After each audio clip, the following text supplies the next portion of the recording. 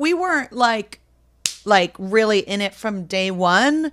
I mean, he was mm-hmm. in a way because he had just done a huge um time of celibacy mm-hmm. and he had set intentions and mm-hmm. I was fresh out of a relationship and I was just like I can't do this anymore. I need to go into a, di- a swim in a different pond. He went to this place called the Hoffman Process, which is a place a retreat you go to for a week and it you rewire the way you think about yourself and it helps you rewire all the bad habits and the rewires your neural pathways through different physical activities. I had a really tough year and I finally went to Hoffman at towards the end of that year that we were separated.